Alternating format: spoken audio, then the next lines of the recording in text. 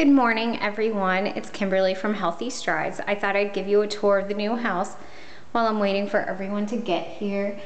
Being pregnant allows me to be a total slacker and just hang out with the dog and do nothing. So here we go. We're in the front entrance. Um, that's the stairwell and the hall closet on the side. I'm gonna walk into the living room. One of my favorite parts about the house is the big picture window. We have one in the living room and the dining room an operational and up to code fireplace.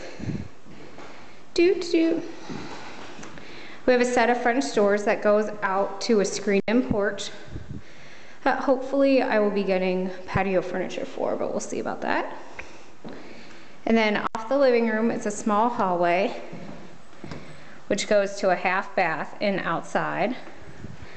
The basement where Denali is currently hanging out. Then we have the kitchen. It's a nice size, not overly enormous, but will do the job. New countertops, appliances, and my favorite part, here we go, pantry, already stocked. I guess I did do something, you know, as in transporting groceries. So here we go. Electric stove, kind of sucky, but I didn't have to pay for it, so I don't care. And our, off the kitchen is the dining room. Again, you can see the big picture window. And if you could actually see me, I would have motioned toward it while I'm talking to myself. But anyway, we have a nice light fixture.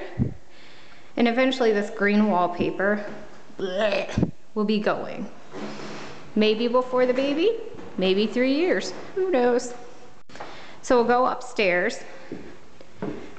I am not looking forward to taking laundry up the steps. Maybe I'll make Mark do it. Right at the top of the steps, we have the door to an airing porch. Very popular in older homes. We have the third bedroom, which I'm showing you first because I'm cool like that, which will be an office. The first floor bath, or second floor bathroom. And as you can see, we have a nice little hallway. It looks like Denali is making his way. I can hear him. Denali, you come say hi? Say hi. Okay, he doesn't care. Anyway, nice little built-in cabinet that I can't open for toilet paper and stuff, towels, what have you. A laundry chute, which will be sure to be home to some toys. Oh, there we go. The second bedroom, which will be the baby's room. Toot toot. Denali looking out the window, his favorite thing. The baby's closet. All of our closets are cedar lined, which is super awesome. We have some new outfits for baby from our realtor. And because she loves me more, the shirt says, I love mommy. and then last but not least is the master bedroom you know, older homes, they're super master, as in not that huge. Mark really likes these lights. Super sassy, aren't they? I really want to take them down. I hate brass. And the best part, his and her closets. Why are they the best part? Because Mark takes up all the room.